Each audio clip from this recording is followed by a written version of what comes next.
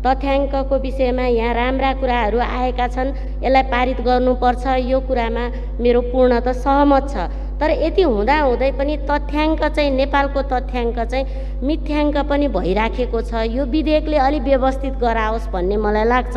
जस्तो एउटा उदाहरण के दिन्छु भने नेपालमा दलित समुदायहरू बिस प्रतिशत छन् भनेर चाहिँ नि गैर सरकारी संस्थाले जहिले पनि भनिराख्या हुन्छ।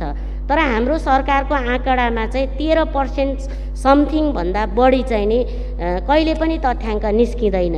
भनेपछि यो तथ्याङ्क विधेयकले चाहिँ संरचनागत ढङ्गले चाहिँ कसरी हल गर्ने त सत्य तथ्य कसरी आउने?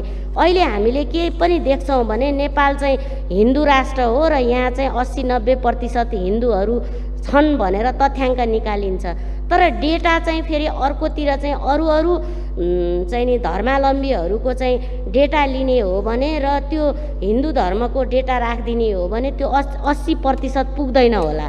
र धर्मनिरपेक्ष जो चाहिँ आफूलाई चाहिँ कुनै पनि धर्म मान्दिनँ भन्छ त्यसको डाटा लिने हो भने पनि त्यो चाहिँ डाटा चाहिँ नेपालमा आउँदैन भनेपछि यो तथ्याङ्क विभागले चाहिँ यो फर्महरू बनाउँदै संरचनागत ढङ्गले चाहिँ एक्ज्याक्ट आउने गरी कसरी हल गर्न सक्छ र त्यो तथ्याङ्क विधेयकले चाहिँ सबै समुदाय जात जातिलाई चाहिँ हुने गरिकन त्यो त्यो निर्णय प्रक्रियामा पनि उहाँहरूको सहभागिता हुने गरिकन युएनले कसरी बोल्न सक्छ यो बारेमा चाहिँ सैद्धान्तिक ढङ्गले नै हल गर्न जरुरी छ भन्ने भनाइ राख्दै यहाँबाट बिदा हुन्छु। हस्त धन्यवाद।